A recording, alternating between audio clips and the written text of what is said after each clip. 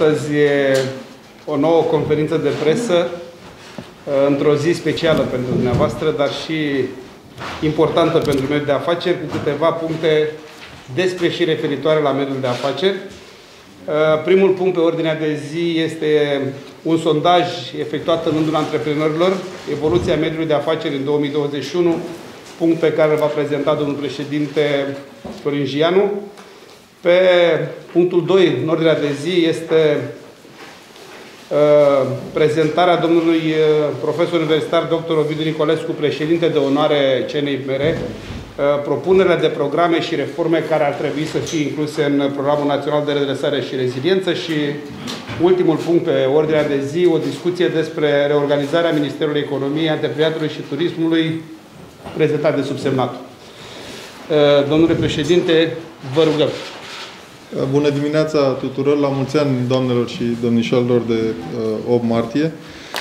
Uh, da, Consiliul Național al IMM-urilor a realizat un uh, sondaj cu privire la evoluția mediului de afaceri în anul 2021. Iată că împlinim un an de la debutul pandemiei în România, așa cum am realizat de fiecare dată analize, sondaje și propuneri legate de uh, mediul de afaceri. Am făcut acest lucru și în uh, începutul acestui an pentru a seta uh, practic evoluția mediului de afaceri în anul 2021. Am realizat un sondaj de opinie în perioada 16 februarie 7 martie, la care au răspuns 2544 de uh, întreprinzători în marea lor majoritate micro-întreprinderi, un procent de 52%, întreprinderi mici, mijlocii uh, și mari, uh, restul de uh, procente.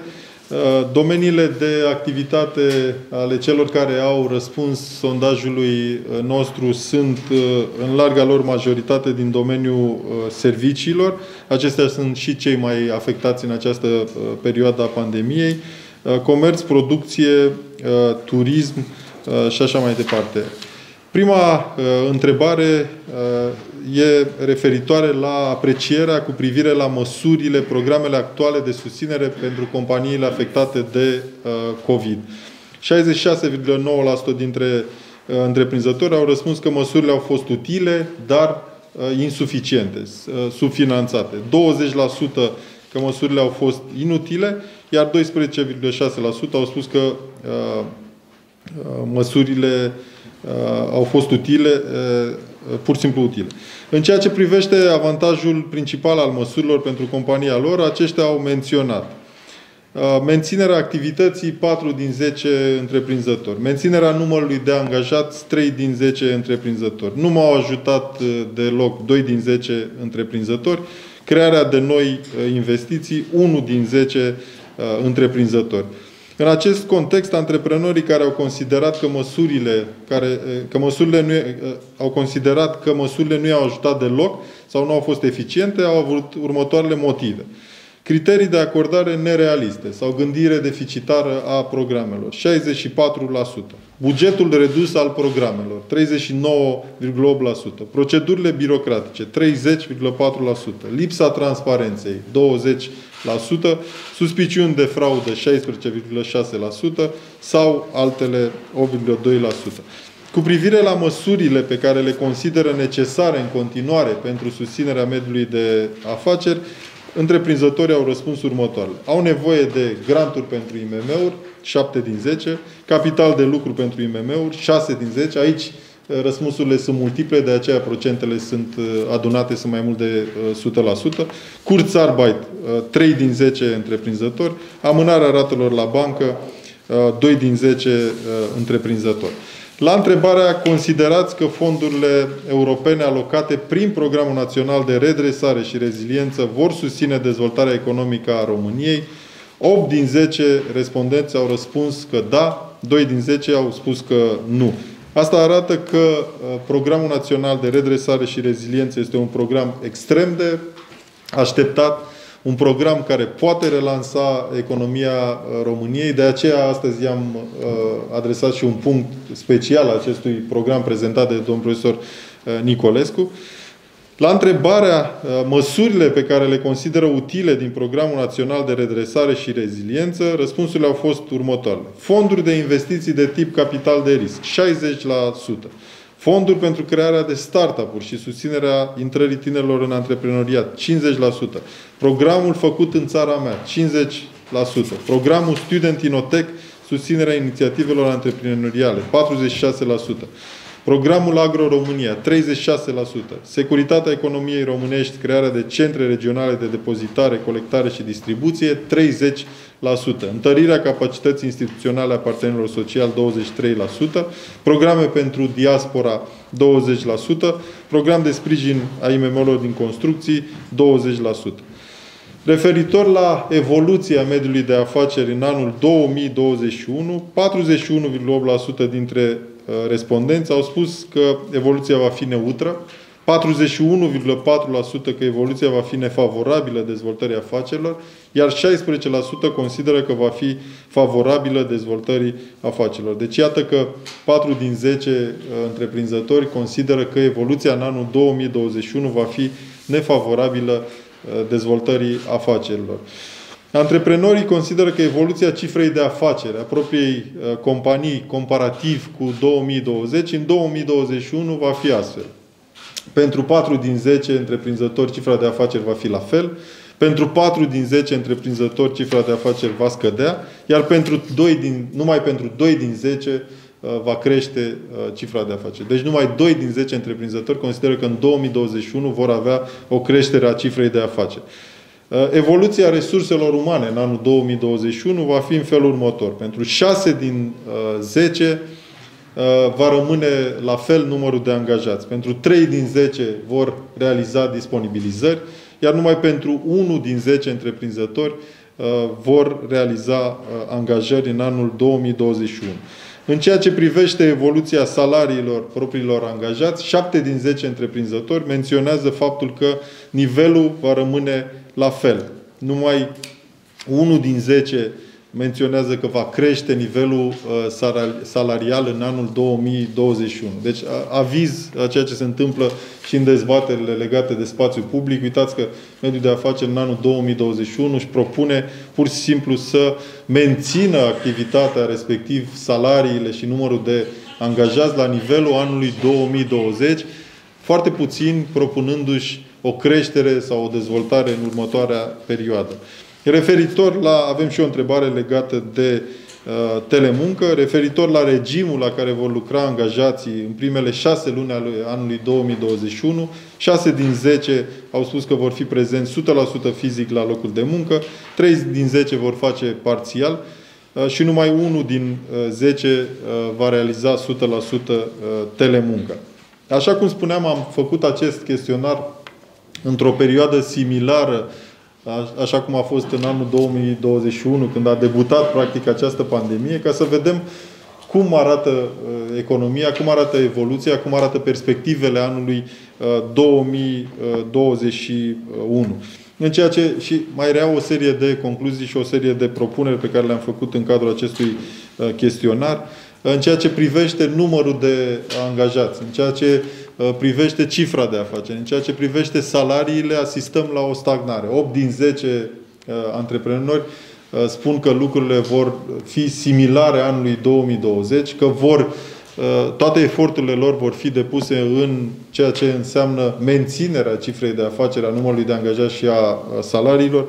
Numai unul din 10 întreprinzători se gândește la, la dezvoltare, are o abordare Uh, pozitivă în ceea ce înseamnă evoluția anului 2021. Uh, în ceea ce înseamnă măsurile cu privire la mediul de afaceri, acestea au fost uh, evaluate ca fiind utile, dar insuficiente și subfinanțate. De aceea, Programul Național de Redresare și Reziliență este așteptat ca un colac de salvare în ceea ce înseamnă economia României în uh, următorii ani pentru ceea ce propune redresarea și relansarea uh, economică. Ați văzut și propunerile cu privire la uh, necesitatea uh, investițiilor în anul 2021 cu precădere din fondurile europene, adică granturi pentru IMM-uri, capital de lucru fonduri de capital de risc, susținerea intrării tinerilor din nou în, în economie prin acele startup-uri, câteva programe făcute în țara mea sau centrele de colectare, distribuție, depozitare și faptul că există o așteptare foarte mare din partea mediului de afaceri cu privire la acest plan de redresare și reziliență, 83,1% considerând că acest plan este un plan pozitiv și util și necesar economiei românești. De aceea, așa cum, cum spuneam și fac practic trecerea către punctul următor, am considerat că uh, să avem un punct special cu privire la uh, PNRR este absolut uh, necesar. De altfel, noi am fost extrem de activi în ultima perioadă cu privire la PNRR. Las pe domnul profesor Nicolescu să prezinte mai, mai departe. O secundă, domnul profesor, să, da. să tehnica.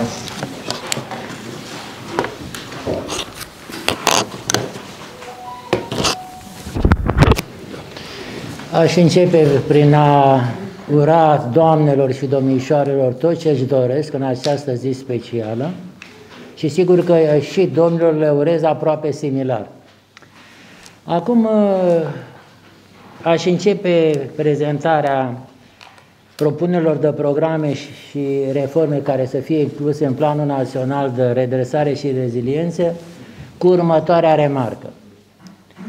În cei aproape 30 de ani de când Consiliul Național funcționează, am participat la sute, am făcut o socoteală, au fost aproape 400 de conferințe de presă, dintre care la circa 300-320 am participat. Aici s-au prezentat pentru prima dată prima lege privind uh, societățile comerciale din România care a aparținut Consiliului Național și multe inițiative care au marcat dezvoltarea României. Stimați reprezentanți ai mass media, vreau să vă spun că ceea ce vă prezentăm astăzi este cu totul și cu totul deosebit din cel puțin trei puncte de vedere. 1. Propunerile de programe și reforme au fundamentul economic, există bani pentru așa ceva. Sumele, o să vă le prezentăm la modul concret, de miliarde de euro, sunt deja repartizate României. Niciodată România și niciodată IMM-urile din România nu au fost puse în situația aceasta. Pledo- făceam pledoarii pentru programe de câteva zeci de mii de euro, câteva sute de mii. Acum avem posibilitatea să propunem pentru miliarde de euro. Prima chestiune. A doua. Propunerile pe care le face Consiliul Național, împreună cu unii parteneri, așa cum o să vedem în continuare, sunt făcute la un mod profesionist.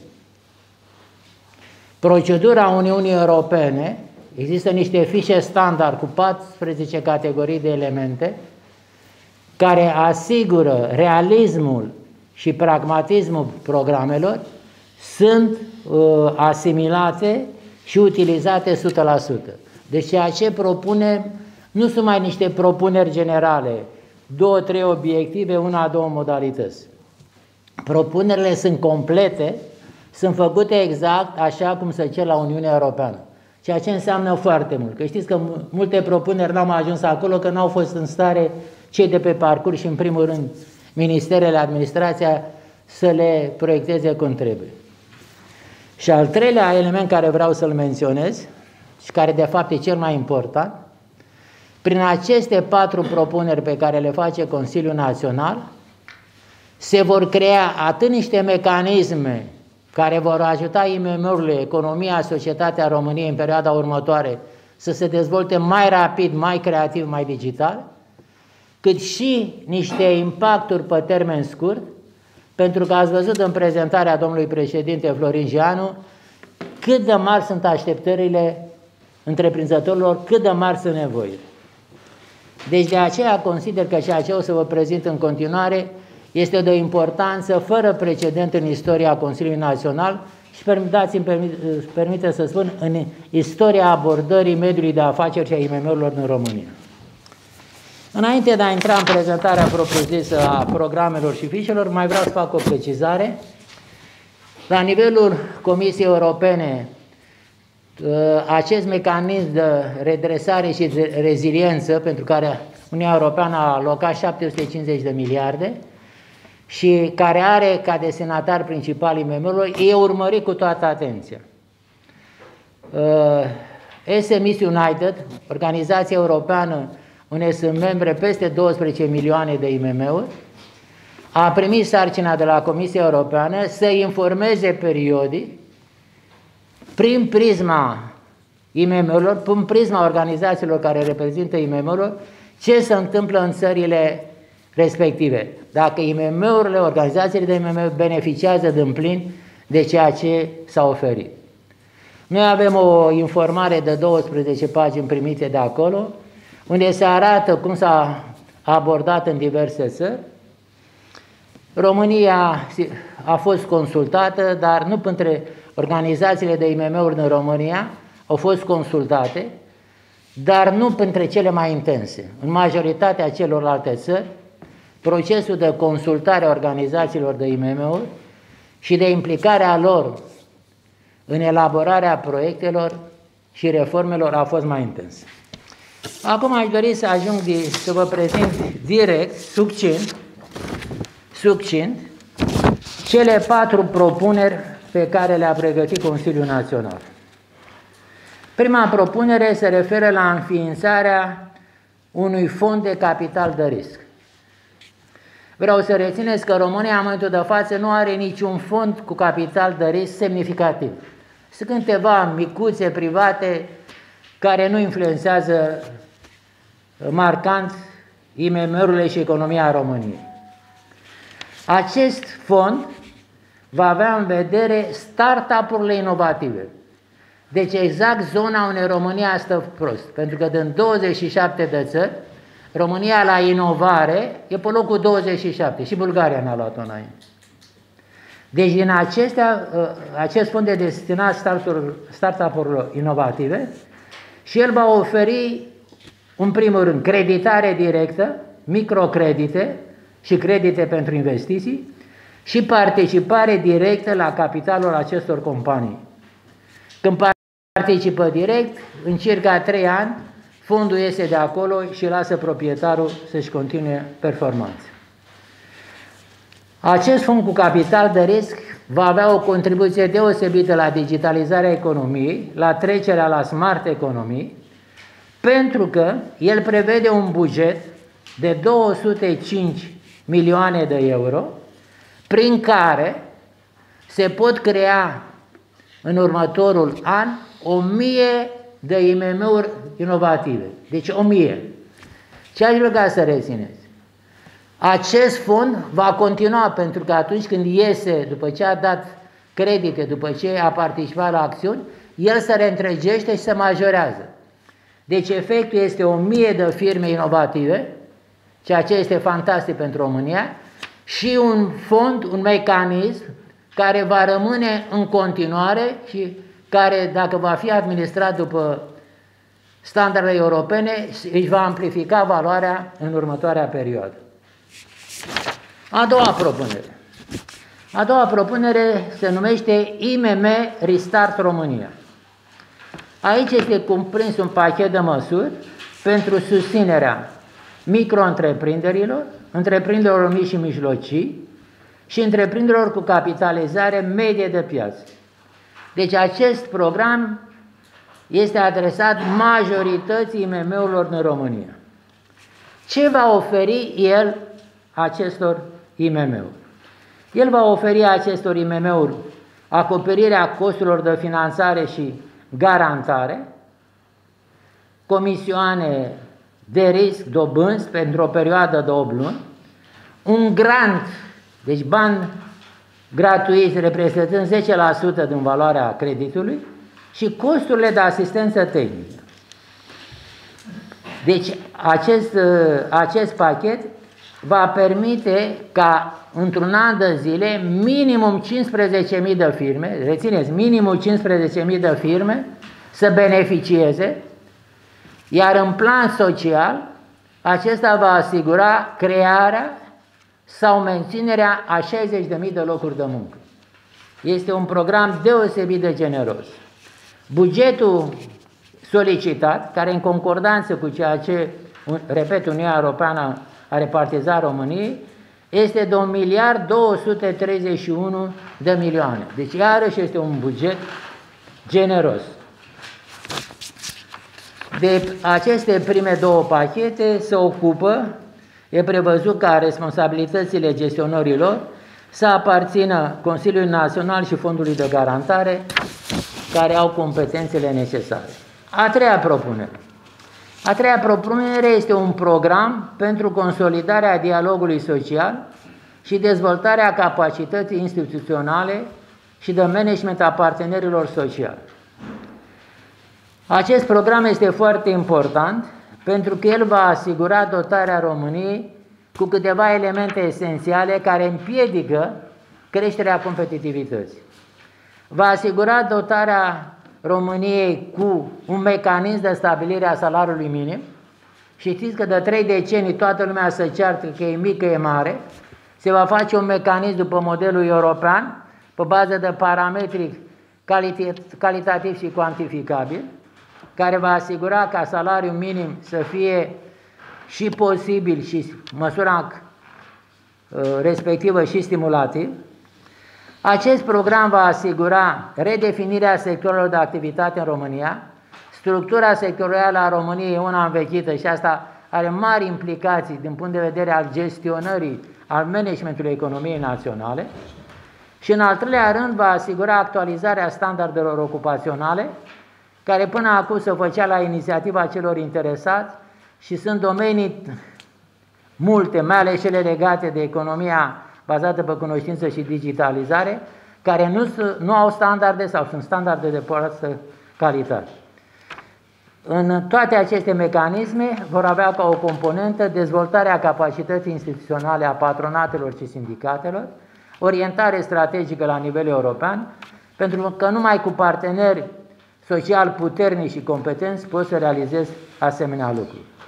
Bugetul acestui program este ceva mai mic, 100 de milioane de euro.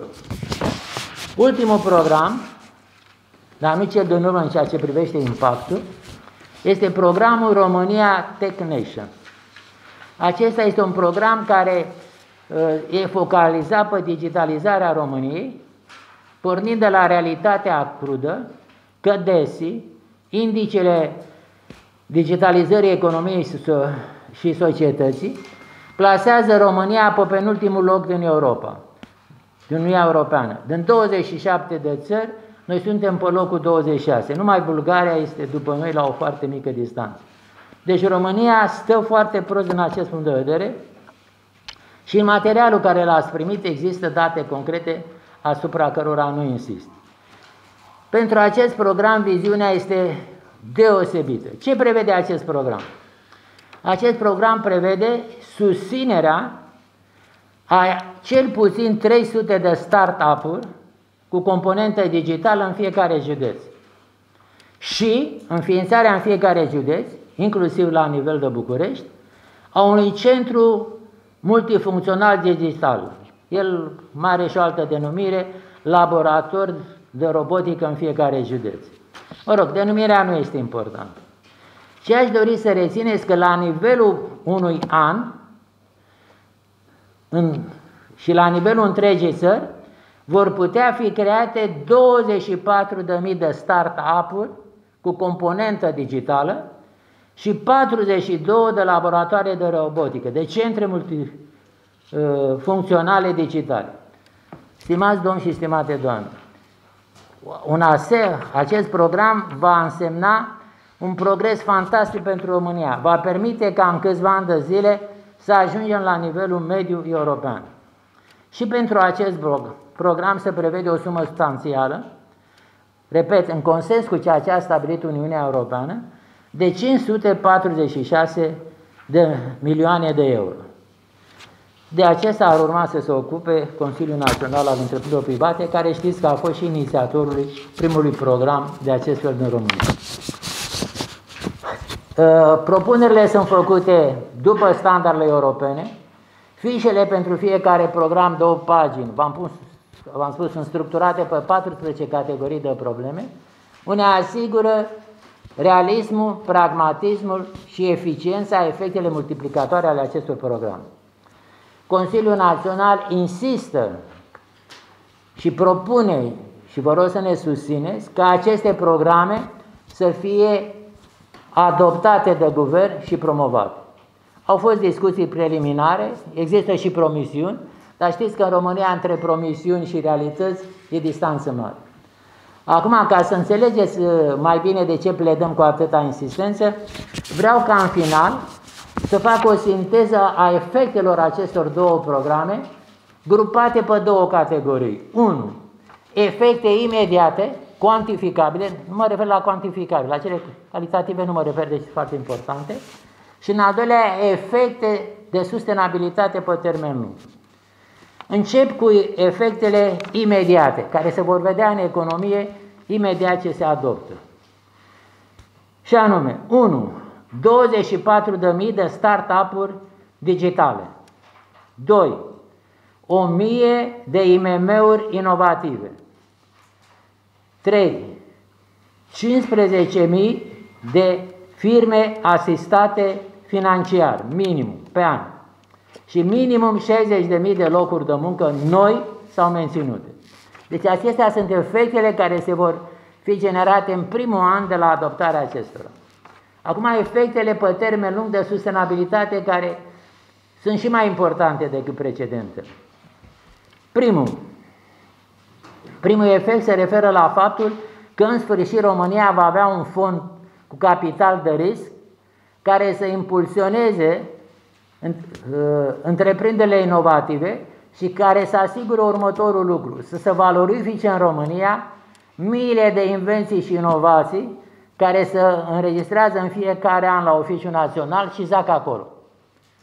Deci acestea fond de risc, odată înființat, este, se realimentează pentru că banii se întorc înapoi.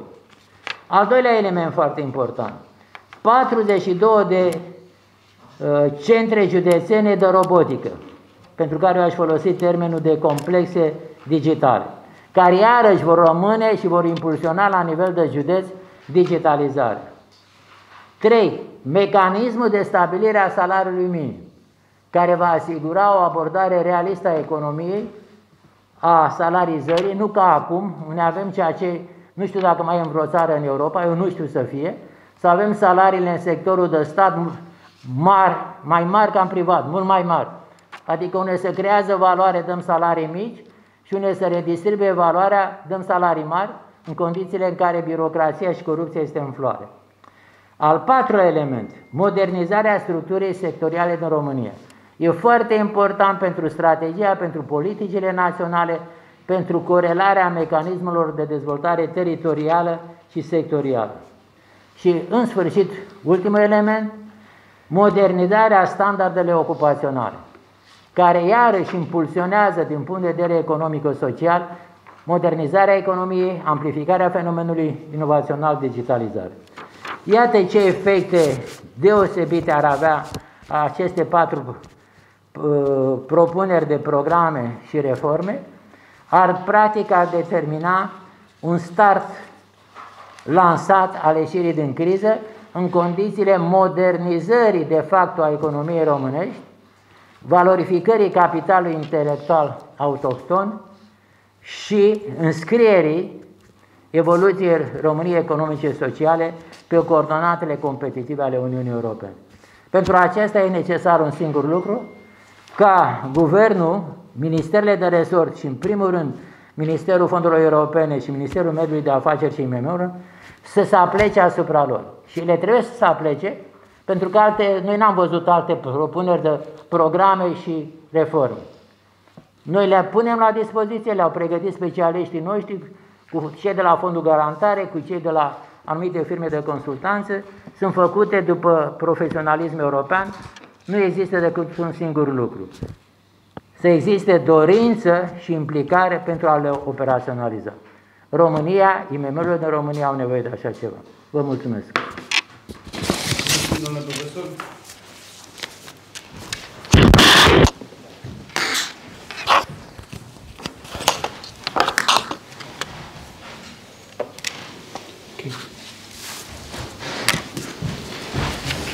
Da, pentru implementarea uh, programului în general avem nevoie de un partener. Partenerul ar trebui să fie și Ministerul Economiei, Antreprenoriatului și Turismului, care este încă în faza de reorganizare, uh, pentru care o să vă prezentăm câteva din uh, punctele noastre de vedere, astfel că pe 3 februarie a fost publicat proiectul de hotărâre a Guvernului pentru organizarea și înființarea Ministerului Economiei, Antreprenoriatului și Turismului. În noua organigramă sunt păstrate Direcția Generală de Turism și Departamentul de Comerț Exterior, dar sunt desfințate Direcția Generală IMM și Mediu de Afaceri, precum și Direcția Generală de Investiții Străine. În propunerea pe care am citit-o cu toți, observăm că se dorește înființarea unei direcții generale de promovare a economiei, o structură care ar avea rolul de promovare a economiei inclusiv a turismului național, a exporturilor și a investițiilor străine. O direcție generală de reglementare și de birocratizare, care ar avea rolul de consultare cu mediul de afaceri, uh, elaborarea elementelor de debirocratizare și care ar avea în subordinea ei mediul de afaceri. Și, bineînțeles, o direcție generală de ajutor de stat, o structură care ar gestiona toate ajutoarele de stat, Uh, și în cadrul căreia se va înființa un compartiment care să uh, deservească domeniul antreprenorial și să conducă, bineînțeles, la crearea și implementarea programului pentru IMM. Înțelegem din titulatură că domeniile prioritare care ar trebui să, uh, de care ar trebui să se ocupe Ministerul sunt economia, turismul și antreprenoriatul. Astfel că această nouă propunere dorește să promoveze Uh, toate domeniile de activitate, să nu mai există o separare a domeniului de activitate uh, și aceste ajutoare de stat organizate într-o singură structură. Considerăm că exemplele de bună practică care funcționează în alte uh, țări europene ar trebui folosite și implementate conform legislației în vigoare, astfel încât domenii prioritare, ca turismul, atragerea investițiilor străine sau antreprenoriatul, să fie organizate transversal, coordonarea acestora fiind realizate de către o singură persoană, deschisă, bineînțeles, către dialog și uh, soluții. Deși se înființează această, se păstrează Direcția Generală de Turism, aceasta ar avea rolul doar de reglementare, uh, autorizare și control, rolul de promovare fiind preluat de această Direcție Generală de Promovare a Economiei. Ori programele, măsurile de promovare a turismului sunt diferite și specifice de celelalte domenii ale economiei și ale industriei, ehm, turismul fiind un domeniu specific, ce ar trebui să funcționeze unitar și independent, cum de altfel se întâmplă în toate statele europene, unde în Austria, Germania, Franța, Italia sau Ungaria există chiar departamente pentru finanțarea turismului, bănci ale turismului sau departament de promovare a turismului. În ceea ce privește atragerea investițiilor străine, ehm, este nevoie de susținerea și forța unei direcții generale în directa coordonarea unui secretar de stat, astfel încât brandul Invest Romania să-și crească activitatea și să nu existe riscul de a-și pierde identitatea. Importanța acestui domeniu este dată și de faptul că în multe țări europene aceasta funcționează unitar sub formă de agenție de atragere a investițiilor străine coordonate de la nivel guvernamental de multe ori deciziile necesitând o reacție rapidă și o forță decisională de la cel mai înalt nivel. România fiind în concurență cu celelalte state care și-au dezvoltat asemenea agenții, cum este uh, HIPA din Ungaria, Enterprise Greece în Grecia, Invest Austria sau Invest în Italia.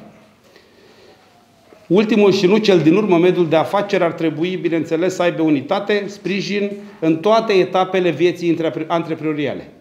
Încă de la înființare avem nevoie de programe de stimulare și de finanțare, avem nevoie de legislație care să ne îndrume pașii în viața antreprenorială, uh, prin reglementare de birocratizare și prevenire, dar și avem nevoie și de internaționalizare, măsuri și programe de susținere a exportului. Toate acestea ar trebui să funcționeze într-o organizare unitară, nu așa cum sunt propuse acum, împărțite în cele trei direcții generale, orice măsură necesitând aprobarea a trei directori generale faptul că, astfel că propunem ca Direcția Generală de Turism să asigure toate atribuțiile în materie de turism, reglementare, autorizare, control și promovare și să se înființeze Direcția Generală de Investiții Străine și Direcția Generală de Antreprenoriat, care să asigure atribuțiile de reglementare, de birocratizare, programele de susținere IMM-ului și promovarea exportului. Aș fi vrut să vă comunic la final și faptul că astăzi încheiem și proiectul Creativ Start, un proiect care a avut ca obiect încurajarea antreprenoriatului și a ocupării pe cont propriu prin susținerea înființării de întreprinderi din industriile creative. Lasă că prezinte. Da? Da. Gata. Prezintă domnul, domnul președinte. El aveam pregătit de asta, te Da, da. da. o muncă. Da. Înainte de a vă prezenta câteva lucruri legate de proiectul Creative Start, aș vrea să vă spun și eu câteva chestiuni legate de reorganizarea Ministerului Economiei, Antreprenoriatului și Turismului. Pentru că, în opinia noastră, continuă această debandadă a ceea ce se întâmplă în acest moment în, în cadrul acestui minister. Ministerul are niște uh, atribute foarte clare, acelea de uh, promovare a uh, întreprinderilor mici și mijlocii. De altfel, sesizăm faptul că IMM-urile nu se mai regăsesc în nicio direcție, în niciun fel. Deci de unde noi am cerut să existe un minister al antreprenoriatului și turismului antreprenoriatul, fiind, uh, cum să spun, o sintagmă mai modernă și mai la mod, așa, dar tot IMM-urile uh, reprezintă. Acum observăm că nu mai există nicio uh, direcție legată de IMM-uri, nici de politicile specifice întreprinderilor mici și mijlocii, nici de programe legate de IMM-uri, ci sunt puse toate la un loc. Ministerul are niște atribute, așa cum spuneam, foarte, foarte clare. Acela de atragere, investiții, promovare, exporturile. Acela de politici pentru IMM și programe pentru IMM și ceea ce înseamnă uh, turismul, adică reglementarea, promovarea și așa mai departe. Acest mix în care le punem pe toate la un loc și nimeni nu mai înțelege nimic și nu mai răspunde nimeni de absolut uh, nimic, nu va fi uh, favorabil în ceea ce înseamnă evoluția viitoare a acestui uh, minister. De altfel, să știți că noi mai degrabă suntem în favoarea ca atragerea uh, investițiilor și promovarea exporturilor să meargă direct, așa cum a mai fost pe vremuri acea agenție de investiții ARIS, să meargă direct la SGG, să meargă direct la uh, primul ministru, să fie în atribuțiile SGG-ului și direct subordonate primului ministru, pentru că în acest fel se creează uh, o strategie mult mai clară și se creează un orizont în ceea ce înseamnă atragerea de investiții și promovarea exporturilor. Nu vedem în acest moment uh, o abordare și o aplicare foarte clară a uh, prezentului ministru pe ceea ce înseamnă promovarea exporturilor și atragerea de uh, investiții. Așa cum spuneam, IMM-urile nu se mai regăsesc deloc. Deci nu le mai vedem nicăieri Uh, programele uh, sunt specifice, avem o lege specifică, reglementările sunt uh, specifice, deci totul trebuie să fie specific.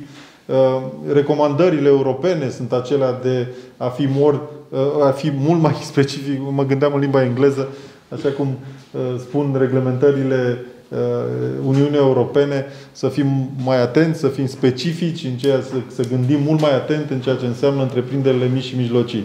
Pentru că uh, una este specificitatea întreprinderilor mici și mijlocii uh, cu 1, 2, 3, 8, 10, 20 de angajați și alta este o reglementare pentru companiile mari. De aceea, uh, noi cerem să existe aceste direcții de politici pentru IMM-uri, de programe specifice pentru IMM-uri și nu să le punem pe toate la, la un loc și să la sfârșit, așa cum spuneam, să nu mai răspundă nimeni de absolut Uh, nimic.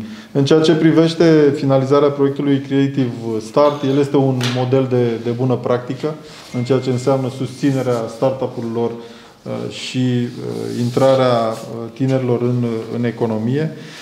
În cadrul acestui proiect am avut peste 677 de persoane instruite în ceea ce înseamnă um, gestionarea activității unei, unei firme, cercetarea de piață, marketing și așa mai departe.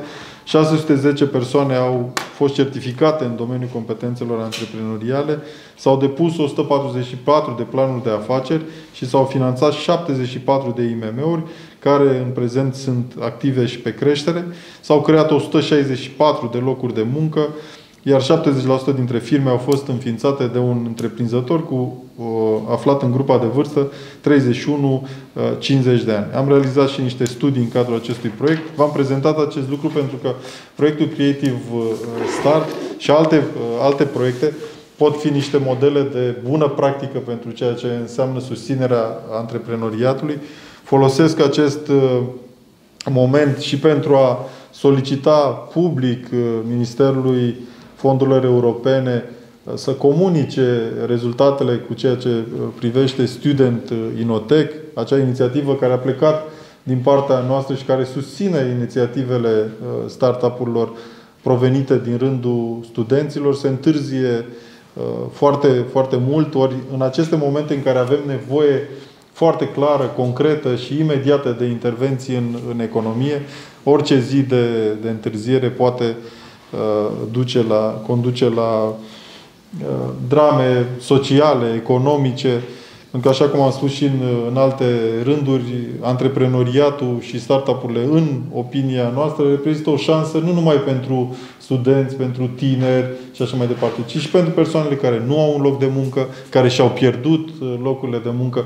Vedeți și din statistica acestui proiect, practic, plaja vârstei medie este între 31 și 50 de ani. Oameni care au căpătat o experiență, oameni care și-au pierdut un loc de muncă, oameni care au fost în căutarea unui loc de muncă și au devenit astfel întreprinzători.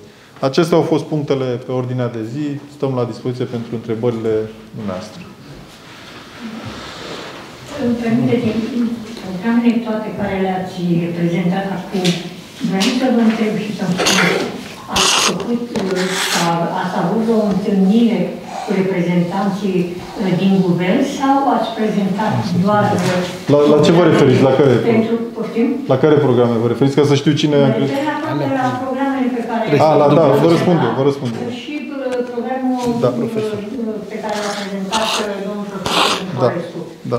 De ce vă întreb asta? Pentru că este o harababură cumplită în, în guvern uh, și chiar uh, la Camera Deputaților acum câteva zile uh, au fost niște propuneri făcute de anumite firme economice care, bineînțeles, nu s-au aprobat.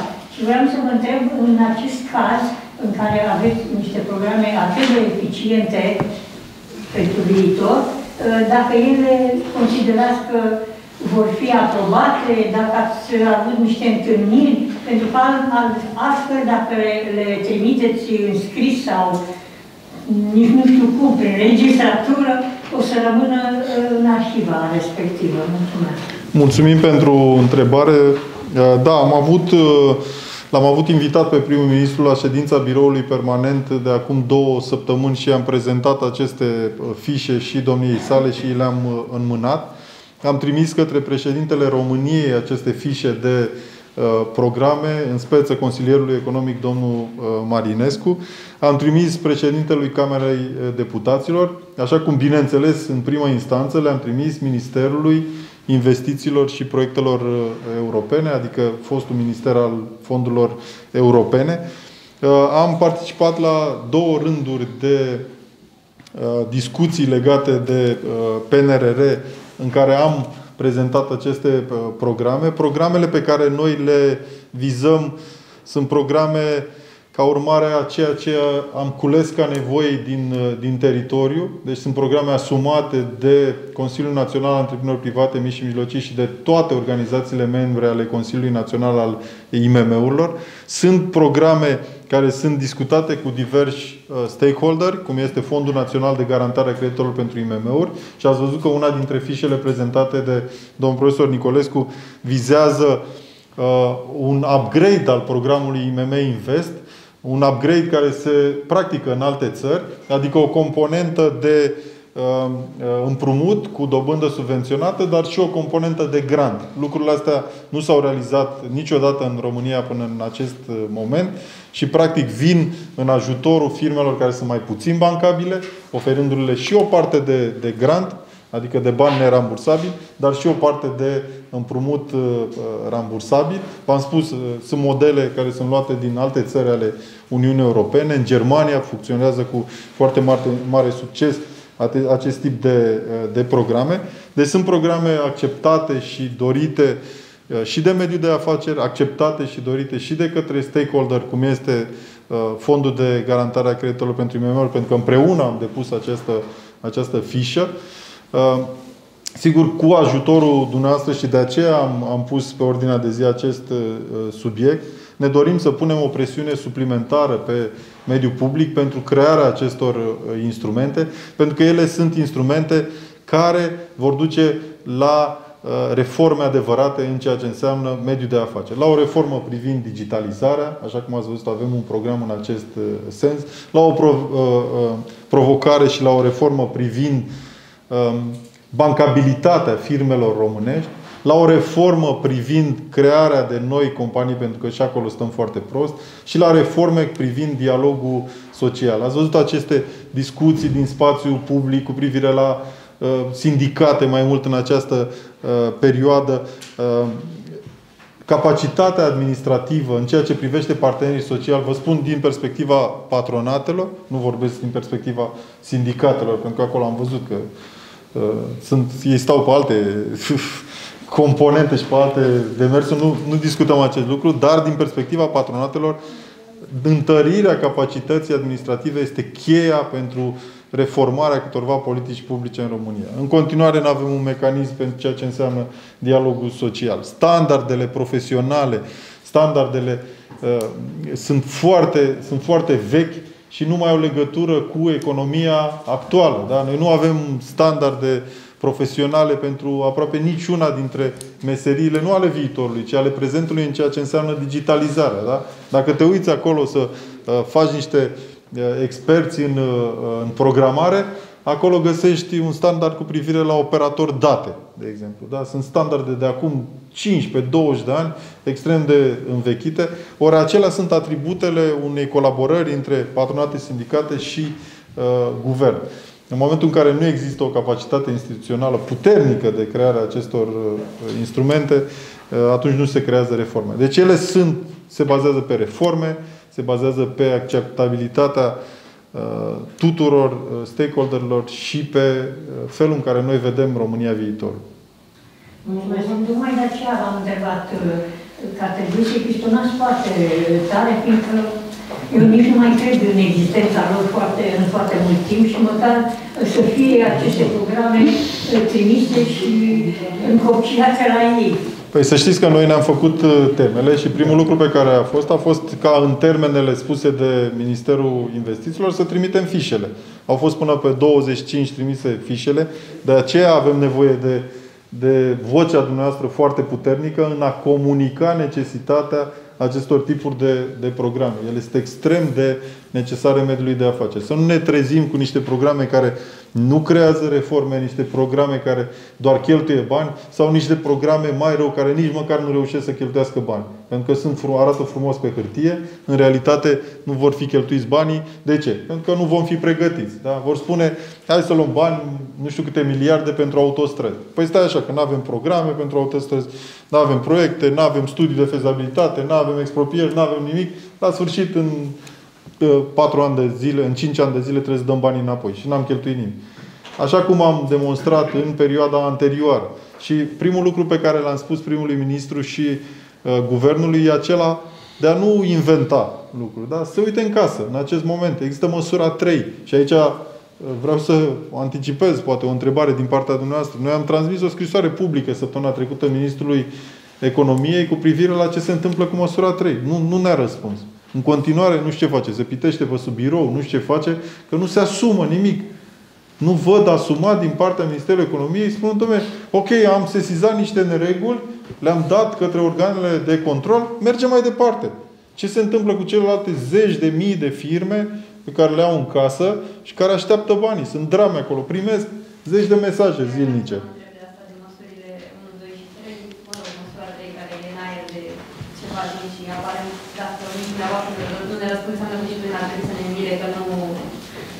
Nici dumneavoastră nu vă răspunde nimic în acest sens.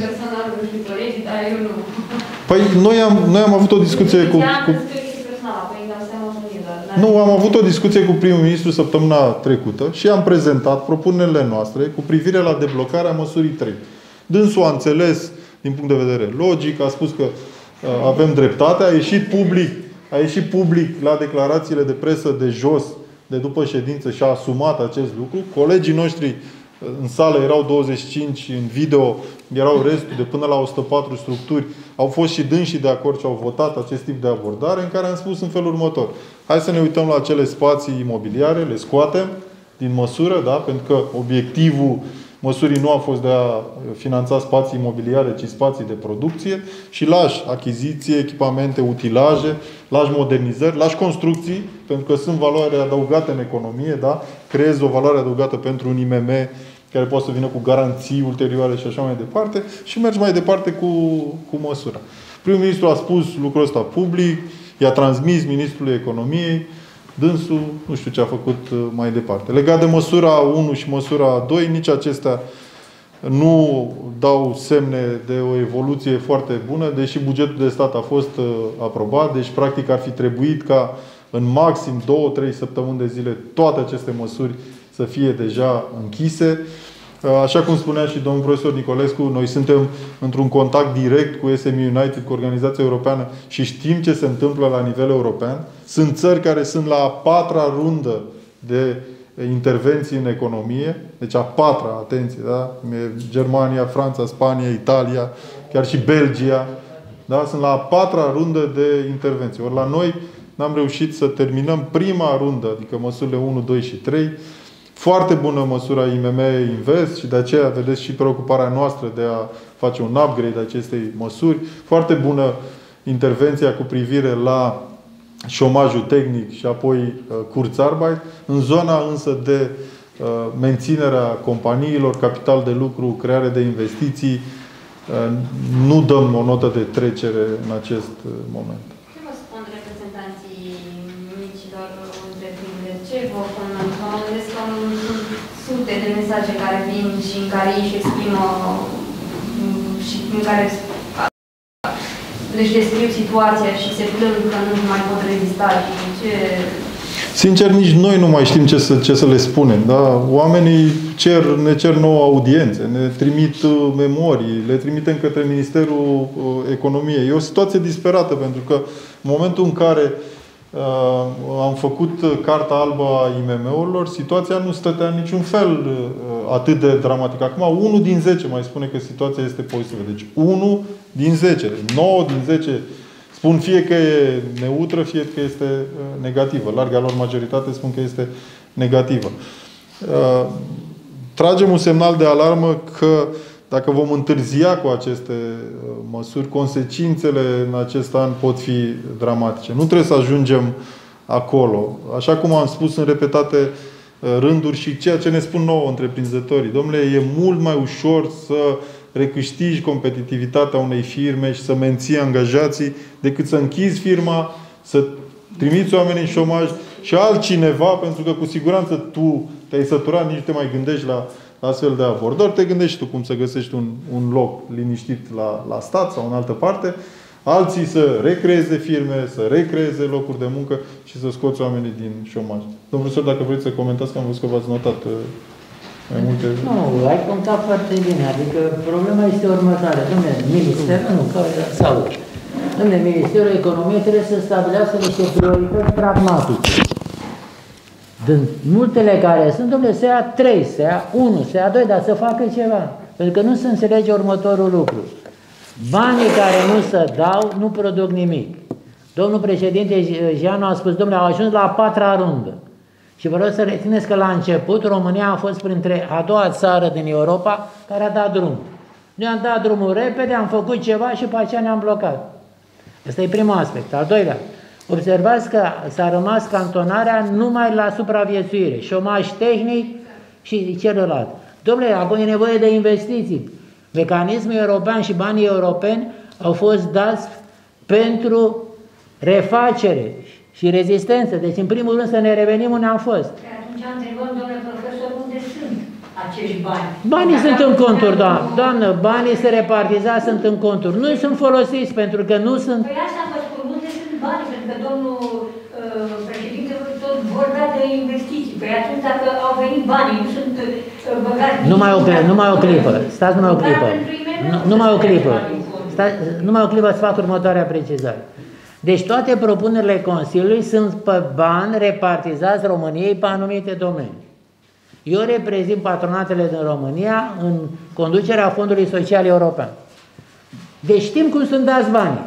Dar banii sunt, da, sunt repartizați, dar îi primești când vii cu programul, cu proiectul. Că el nu-ți dă banii să iei tu dobânzi, că îi ții într-o bancă în România sau în altă parte. Normal, dar unde proiectele le-ați prezentat?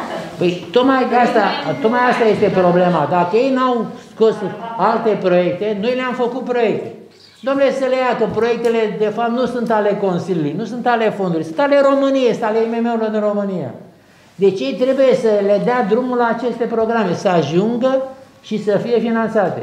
Și vreau să vă mai spun un lucru care nu se înțelege în România.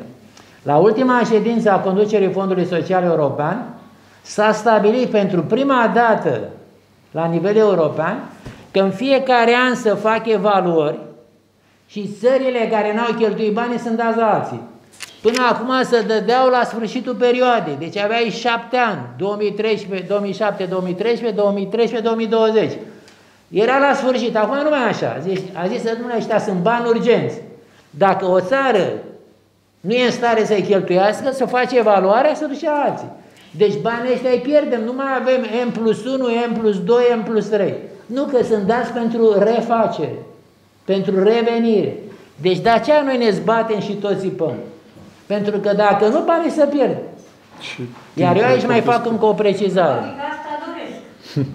Numai o clipă, mai fac o precizare. La întâlnirea care a fost cu domnul prim-ministru, eu am venit cu propunerea, nu e nouă, că și domnul președinte Gianu a făcut-o dată am făcut-o împreună, să facem un task force național pentru acești bani. Dacă nu-l facem, o să-i pierdem. Pentru că, vedeți, lăsăm la un minister care e cum este, îi pierdem. Trebuie făcut un task force național. Eu am scris acum un material pentru Societatea Academică de Management, unde sunt președinte, cu cei mai mari profesori de management în România. Florin, o să vi-l dau și voi să-l puneți în care am demonstrat foarte clar, niciun minister din România, în momentul de față, nu are numărul și calitatea specialiștilor să absorbim aceste zeci de miliarde. Trebuie un task force național care să lucreze pe managementul de proiecte, un profesionist acolo, nu un om politic, cineva care a condus din țară sau străinătate, care a condus așa ceva, și care imediat să gestioneze aceste proiecte și management de proiect. Pentru că, uitați și noastră, ce spunea colegul nostru, domnul Sărică Fângăle, la ministerul respectiv au făcut un haos. În loc să ai direcții pe cele trei domenii și o direcție de integrare, a mai rămas turismul, iar pe celelalte investițiile, restul le-au bulibășit. Nu se poate așa. Și mai rețineți un lucru. România n-a fost în stare în 2007-2013 și 2013-2020 am făcut socoteala, a pierdut, vă rog să rețineți, peste 15 miliarde de euro nu i-au absorbit. Când a primit sume mult mai mici. Acum am primit, putem primi. Sunt repartizate, dar nu ne dă nimic până nu avem program. Acum sunt repartizate circa 80 de miliarde, deci de trei ori mai mult și uitați-vă cum ne mișcăm. Okay descoperit în minister un blocaj. Văd că de vreo patru luni de zile, vreo trei luni cam așa, e ceva ce îl împiedică să rezolve să, acel blocaj. Ce credeți că se întâmplă de iar de atâta timp, el nu reușește să deblocheze lucrurile pe acolo? Spune tu. Păi, domnul profesor Nicolescu e profesor de management, deci poate... Ce, bă, ce, ce spate atâta să... Stimate doamnă, problema un management e următor. 1. Trebuie să pui să conducă cineva care are talent managerial și competențe manageriale, care a mai condus înainte și care cunoaște domeniul. Dacă pui ministru, unul care n-a mai condus sau a condus trei inși într-un IMM sau într-o organizație de partid și care nu are nici talent, nu se poate. Deci trebuie pus acolo. Bun, și secretarii de stat la fel. În perioada interbelică în România, când se schimba guvernul, vă rog să reține, se schimba numai ministru. Secretarii de stat rămâneau tot timpul. Ăștia erau managerii profesioniști. Puneau un ministru ca să fie viziunea politică, să coreleze cu politica partidului, dar partea efectivă o făceau niște oameni care numai asta făceau, domnule. Așa ar trebui și acum. Dacă nu să pun oameni cu cunoștințe care au lucrat în domeniu, sigur că așa se întâmplă. Poate el e plin de bună de intenție. Dar aici nu e vorba de ce vrei, ci ce poți. Și ce poți e demonstra cu ce ai făcut înainte. Cu ce ai făcut înainte. Dacă îmi permiteți, vreau să completez uh, uh, câte ceva. Uh, ați pus o întrebare pertinentă. Eu am un răspuns. Uh, pe vremuri de demult, când îți începeai activitatea, avea o perioadă de stagiatură de trei ani, când începeai uh, primul, primii pași în, în uh, activitatea profesională. Observăm că domnul ministru își face stagiatura din postura de ministru și apreciem că probabil că e singura persoană care face treaba asta în ultimii 30 de ani. Uh, ați ridicat măs- problema la măsura 2. Mi-aduc aminte prima conferință de presă din acest an și vă aduce și dumneavoastră aminte când domnul președinte Gianu a spus că uh, agențiile au capacitatea să analizeze acele planuri de afaceri în două săptămâni și să uh, dea eligibilitate. Am văzut că s-a întâmplat treaba asta. Eu am o întrebare tot la fel de pertinentă. Câte săptămâni ar trebui până să se plătească aceste uh, uh, programe care nu mai stau în sarcina, să zic așa, agențiile, ci stau un pic sub ministrului. Și uh, cealaltă remarcă pe care vreau să fac este următoarea. Sperăm că se vor plăti toate cele 20.000 de sau 18.000 de proiecte eligibile, nu doar primele 4.800. Pentru că altfel, dacă se întâmplă treaba asta, sunt multe alte uh, probleme la mijloc. Deci, Măi, dar sunt bani, măi, că stau banii în trași, Eu trebuie știu. numai să-i cer, am proiecte, am îndeplinit condițiile, trage, domnule, și dă la oameni, să intre în economie, locuri de muncă, cerere, ofertă, altă dispoziție. Uitați-vă Acum- pe stradă cum arată oamenii de întunecați. Așa se rezolvă problema. De aici ceva, de aici ceva și Uniunea Europeană pentru prima dată da așa ceva. N-a mai fost niciodată și nici nu va mai fi. Acum, e o șansă le- unică. legat de ceea ce, Domnul. ce a spus uh, domnul profesor Nicolescu că sunt bani, eu vreau să vă dau și niște date statistice. Da? Uh, România, în cadrul multianual 2014-2020, este la o rată absorție de, absorție de 50%. Deci, practic, noi mai avem încă 2 ani de zile pentru a absorbi toți banii alocați României, adică aproape 20 de miliarde de euro alocați în perioada 2014-2020. Și noi suntem la jumătate. Deci iată o resursă de bani în acest moment, pentru că dacă ne întrebăm de unde bani, de unde bani? Păi din resursele europene ar trebui programul operațional competitivitate. Este undeva la 37-40% la, la sută grad absorție. Celelalte programe. Deci media suntem sub 50% în acest moment. Deci din acei bani ar trebui să punem bani și să plătim întreprinderi mici și mijlocii, capital de lucru, investiții. Toate aceste programe trebuie plătiți de acolo. În decembrie vă reamintesc că programul REACT-EU, parte din uh, acest uh, plan național de redresare și reziliență și din mecanismul de ajutor financiar, a fost adoptat în decembrie. Și acolo avem 1,5 miliarde de euro alocați în mod direct prin actele normative date de, de guvern, alocați măsurii 1, 2 și 3. Da? Și mai, mai sunt alocați către Student Inotech și către economia socială. Deci sunt bani și de acolo uh, alocați.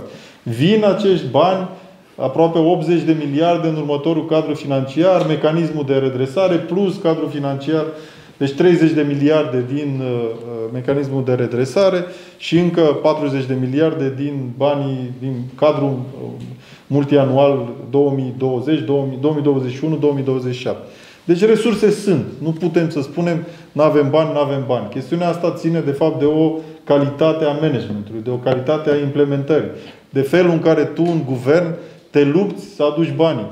Colegul meu a spus, v-a luat atenție ca nu cumva să fie plătiți numai din măsura 2-4.000 de firme și alte aproape 20.000 de firme să rămână pe din afară. De ce spune chestiunea asta? Pentru că în ministerul trebuie să mai facă o aplicație sau un act adițional pe programul pe care îl are, să atragă și să tragă și restul de bani. Și nu s-a făcut acest lucru până în acest moment. Deci nu există cadru legislativ de plată a restului de firme până la 27.000 câte au fost, câte au aplicat. Noi, mă rog, poate uneori devenim prea tehnici. Dar spunem lucrurile ca oamenii să înțeleagă, ca dumneavoastră să le transmiteți mai departe și să vadă că nu se fac chestiunile tehnice, nu se fac chestiunile de management în cadrul Ministerului, tocmai pentru ca să nu ajungem la blocaje, să nu ajungem ca firmele să fie date către, către, către DNA. Da, vă mai dau o, o știre. Știți ce se va mai întâmpla mai departe cu acele firme care au ajuns la, la DNA, care e pasul următor? Parchetul european. Deci, doamna Chioveși va intra în întreprinderile mici și mijlocii uh, românești, în programul uh, măsurii 3, să vadă ce anume s-a întâmplat cu acestea. Asta ne dorim noi de la mediul de afaceri, asta ne dorim de la IMM-urile care de la o zi la alta mai supraviețuiesc, după cum vedeți în evoluția anului 2021. Nu cred că lucrul ăsta trebuie să, să primeze și încă o dată și închei și eu aici, nu fac comentarii legate de ministrul actual. Singurul lucru pe care îl spune că un ministru trebuie să fie ambasadorul IMM-urilor în guvern. Da? El trebuie să se lupte pentru IMM-uri, trebuie să se lupte în fiecare zi cu demisia pe masă, trebuie să spună Domnule, dacă nu-mi dați bani pentru IMM-urile astea, eu plec. Înseamnă că nu mai am ce căuta într-un, într-un astfel de, de guvern. Trebuie să mă ajutați să salvăm locuri de muncă, să salvăm economia, nu să punem frâne, nu să... E rolul ministrului de finanțe să spună că nu are bani, ministrului justiției să spună că sunt probleme și așa mai departe. Nu e rolul tău ca ambasador al IMM-urilor în cadrul unui, unui guvern să ridici astfel de, de probleme și să creezi blocaje. Am o rugăminte în legătură cu proiectele propuse de domnul profesor. Dacă ne puteți ajuta puțin să ne spuneți cum s-a ajuns la sumele respective. Pentru că am văzut că sunt sume extrem de precise, gen 1 miliard 232 de mii de lei. Adică cum s-a ajuns la acele sume totale? Cum s-a ajuns la acel număr de firme pe care vă propuneți, cum ar fi, de exemplu, cele 300 pentru fiecare școală? Răspundeți? Da. Deci rugămintea ar fi odată să ne spuneți cum s-a ajuns la aceste sume. Apoi, pentru ce perioadă de timp ar urma să fie proiectele respective valabile și eventual dacă ne puteți spune și o marjă, o plajă a sprijinului de care ar urma să beneficieze pe fiecare proiect sau măcar pe unele proiecte, firmele, nu știu, între 50.000 și 200.000 sau cât, cât e acum. Păi să o luăm pe rând. În primul, în primul rând, noi am plecat de la uh, analizele pe care le realizăm și de la nevoi. În al doilea rând, am plecat de la reformele necesare. Da? Știți că programul de reziliență trebuie să facă uh, adresabilitate la uh, uh, rapoartele semestriale pe care Comisia Europeană le dă. Și în rapoartele semestriale noi găsim un, un grad de bancabilitate redus al IMM-urilor un număr de IMM-uri scăzut la uh, mia de uh, locuitori. Digitalizarea este foarte slabă, domnul profesor a făcut uh, referire la acest lucru. Dialogul social este foarte slab. Deci, la toate aceste, noi ne-am raportat la toate aceste politici, la realitate și ne-am, ne-am propus obiective. Da? Am spus așa, de exemplu, avem în România două din 10 companii care sunt bancabile. Noi ne mai propunem prin aceste reforme să mai trecem cel puțin trei companii de această parte a companiilor bancabile. Să avem 5 din 10 uh, bancabile. Avem mai puțin de 30 de uh, firme la mia de locuitori. Noi, prin cadrul acestui program, cum este acel uh, România Tech Nation, ne propunem să ajungem undeva la 35 la mia de locuitori. De aceea sunt acele cifre pe care dumneavoastră le aveți. Fac referire, de exemplu, la România Tech Nation ca și gândire, ca și concept, cum l-am, l-am realizat. Am avut acel program Uh, România Startup Nation, care a fost un program național. Și am sesizat niște lucruri care s-au întâmplat, da? niște firme care s-au creat. Dar în același timp s-au creat și niște poli foarte puternici. Da? Cluj, București, uh, Iași, Timișoara și așa mai departe. Și atunci reforma pe care am făcut-o în cadrul acestui program, am zis, haideți să ducem programele spre județe. Implementarea lor să fie acolo, la fața locului. Da? Să nu mai plece tinerii din uh, uh, Slobozia la, la București și să aibă și ei un, un program acolo. Să nu mai plece tinerii din Vaslui la Iași, ci să existe și un program uh, dedicat local. Și cum creezi asta? Păi, în primul rând, creezi un astfel de centru de multifuncțional, de robotică, maker space și așa mai departe, în care cumperi utilaje, echipamente, CNC-uri și așa mai departe, aduci tinerii în cadrul acestor centre, creezi niște firme, le dai ai o finanțare, de aceea am pus 200-300 de firme per uh, județ. Dacă facem un calcul la un 20-30 de mii de euro per uh, startup, acolo se ajunge la și funcționarea acelor centre utilare lor, se ajunge la, uh, la suma globală a, a programului. Și în felul ăsta creezi în 2-3 ani de zile o, o, o rețea, o comunitate, un ecosistem de, de afaceri, creezi niște uh, zeci de mii de, de firme, toate digitale și faci, creezi aceste reforme. De aici am plecat și, domnul profesor, dacă mai are de, de adăugat. Deci, viziunea este cea care a prezentat-o domnul Jean. Iar sumele concrete au avut în vedere două categorii de elemente. Costurile care au fost în programe asemănătoare sau similare în România, Consiliul gestionează de ani de zile în fiecare an 6, 7, 8 programe de înființări de firme, de dezvoltări, training și așa mai departe. Și în al doilea rând am văzut the best practice în alte părți. Pentru că am spus-o și eu și domnul Jean a subliniat mai mult. Domnule, noi nu venim aici, niciuna din ideile astea nu e 100% a noastră originală. Noi ne-am uitat ce fac alții și merge. Dacă merge în Germania, merge în Belgia, merge în Ungaria, am propus-o și noi. Din multele care le-am văzut, am selecționat cele care răspund nevoilor noastre și unde avem și șanse. Pentru că, apropo de digitalizare, noi totuși avem una dintre cele mai bune școli de informatice din Europa. Domnule, te duci în Singapore, ai comunitatea uh, informaticienilor din România, te duci în Hong Kong, peste tot. Domnule, avem forță de muncă, ai resursa umană care e cea mai importantă.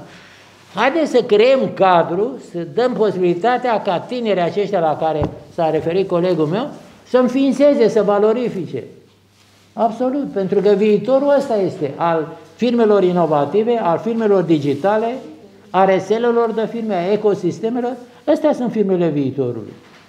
Și e păcat, pentru că niciodată nu au fost aceste resurse. Acum sunt, nu le luăm de la bugetul statului. Problema este ori le luăm, ori să pierzi să duc în alte țări. Și ducându-se în alte țări, nu mai că am pierdut. Dar se creează mai multă concurență acolo și în viitor nu mai ai cum să-i ajungi. Încă o care e termenul rezonabil pe care sunteți dispuși să așteptați un răspuns și eventual ce se întâmplă în cazul în care răspunsul nu e cel așteptat sau e inițial, se adoptă doar o parte din propunerile dumneavoastră. Păi trebuie să plecăm de la uh, timingul și calendarul uh, supus uh, publicului de către Comisia Europeană. În aprilie toate țările trebuie să aibă trimise toate aceste planuri de redresare și relansare economică. Deja foarte multe țări sunt în negocieri avansate. Uh, deci termenul de aprilie și termenul la care vom avea final acest program. Noi facem toate lucrurile astea în avans, tocmai pentru a nu ne trezi în ultimele uh, zile că vedem acolo niște reforme care n-au nicio legătură cu realitatea și o să spună nu ne-ați spus, nu ne-a, ne-ați atras atenția, nu am știut de astfel de programe, nu mai e timp. Da? Noi facem lucrurile astea acum, din timp, v-am spus, am trimis și către domnul președinte Iohannis, am trimis și la Camera Deputaților, am trimis la primul ministru, am vorbit cu dânsul, am trimis către toată lumea. Ne-am făcut temele, am pus aceste fișe, să vedem cum se iese public cu toate aceste lucruri. Și vă rog, numai o clipă, vă rog să rețineți, fișele sunt profesioniste, exact după modelul Uniunii Europene. Nu trebuie decât să le iei. Sau, mă rog, dacă vrei să îmbunătățești ceva, dar nu e decât să le iei, domnule, le iei, le mai verifici odată, că poate undeva e sunt câțiva dolari în plus sau minus euro și să le dai mai departe. Deci e numai de bunăvoință. Bunăvoință și sigur, stageți puțin, că nu se poate. Care nu există. Eu n-am spus asta, eu încă mai sper, sunt optimist de aceea, la vârsta n-am o vedeți aici, că am fost optimist toată viața. După 30 de ani de reprezentare a IMM-urilor, încă mai optimist, domnul profesor Nicolescu. Păi că am supraviețuit, nu vedeți. Da. Bine. Vă mulțumim. Dacă, mai sunt, dacă nu mai sunt întrebări, vă mulțumim frumos. Vă urăm încă o dată o primăvară frumoasă, doamnelor și domnișoarelor. La fel și domnilor.